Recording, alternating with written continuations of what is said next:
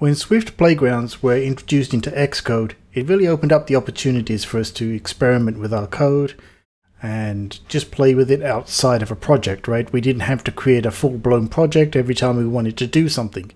You know, every time you wanted to experiment with a view or something like that, you didn't have to spin up in this entire project. Now, I've got the Xcode 12 beta here right now. This is beta 4 and interestingly, you know, in this day and age where we have Swift UI, you still don't have a template, a way to make a, a Swift UI playground uh, straight out of the box, right? I'm going to show you here. So, you know, I've got iOS selected and I've got single view. And if I click next, it's going to ask me to save it somewhere. I'm going to save it on my desktop. And as you can see here, if I expand the window and I'll run this, out of the box, what it gives us is a UI view to play around with, but it's based on UIKit. Everybody's going to want to start using Swift UI. So how do you overcome this?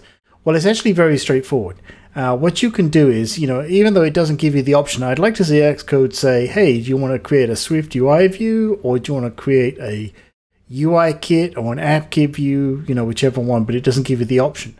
Well, what you can do is you can create yourself a template right? There's very little code that you need uh, for actually making a Swift UI view in Swift Playgrounds. So what I'm going to do is I'm just going to delete all of this code off of here, right? And now I'm just going to paste in some code here. I'm going to take off this as well. This is all the code you need to create and play around with a Swift UI view in a playground. I'm going to run it right here and show you. So, you know, what we've got here, of course, we import the playground support we import Swift UI, we create our struct with our content view and a body, and then we just attach that view to the playground, right? To the playground view. So all I've got here is a, a text label, right? I'm just gonna, in fact, let's just copy that, right? Just to show you that you can really play around with Swift UI views here. I'll create a vertical stack. And I'll just create another copy of the text label here and run it. There you go. So, you know, this is all you need to get a Swift UI view up and running in Xcode.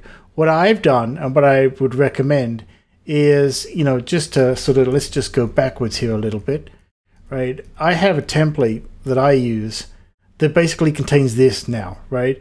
So instead of going, you know, file new and then a Swift UI playground, I just start off with this template here to create a Swift UI playground and start working with that.